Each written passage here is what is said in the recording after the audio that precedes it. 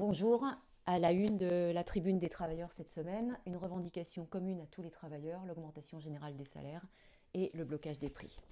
Et donc en pages 2, 3 et 4 de la tribune des travailleurs cette semaine, nous revenons sur euh, la deuxième rencontre nationale pour l'unité qui a eu lieu le 25 novembre et qui a rassemblé des délégués de 86 groupements de travailleurs, du public, du privé, des jeunes, des étudiants, des locataires de cités, euh, qui tous ont mis en évidence le combat qu'ils ont engagé contre la politique euh, du gouvernement. La caractérisation de cette euh, deuxième rencontre, elle est bien donnée par l'un des, des, délégués qui explique cette deuxième rencontre est extraordinaire, elle a eu un changement par rapport à la première où nous disions il y a des combats à mener, on commence à s'organiser.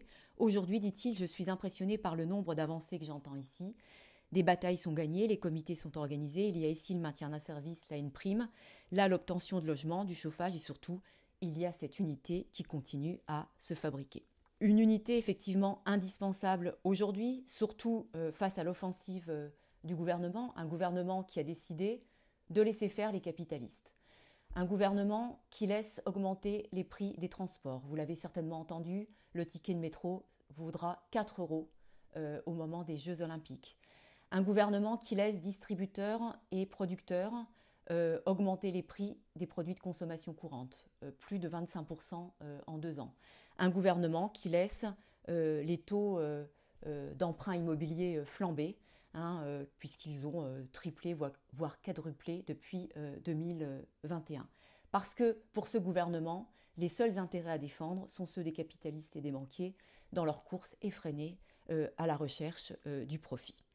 Alors cette deuxième rencontre nationale a adopté un appel que vous pourrez lire en page 3 qui se conclut sur la poursuite de la campagne euh, sur l'appel La vie chère, ça ne peut plus durer, signature euh, euh, en masse, qui appelle également à poursuivre la constitution des comités pour l'unité et bien évidemment à préparer une troisième rencontre nationale le 3 février prochain. Cette question de l'unité, elle est essentielle dans tous les domaines et elle est aussi très importante sur un, un autre sujet, la question euh, de l'immigration.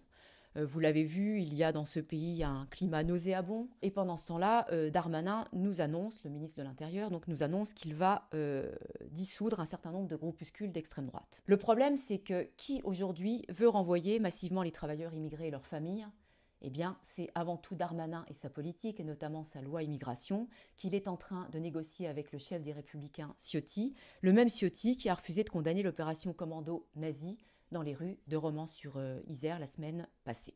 Et puis, bien évidemment, euh, l'autre sujet abordé, c'est toujours et encore Gaza, en pages 10 et 11 du journal. Biden, aux États-Unis, a imposé trêve à Netanyahou. Pourquoi? Parce qu'il est de plus en plus confronté à ce qu'on appelle euh, l'opinion publique dans son pays, c'est-à-dire qu'une majorité euh, des travailleurs sont opposés au soutien inconditionnel euh, à Israël face à une situation de plus en plus catastrophique pour le peuple palestinien.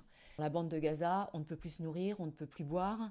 les chiffres sont terrifiants 52 000 femmes enceintes et plus de 30 000 bébés de moins de 6 mois boivent de l'eau contaminée ou saumâtre. Les deux tiers des hôpitaux ne sont plus en état de, fonctionner.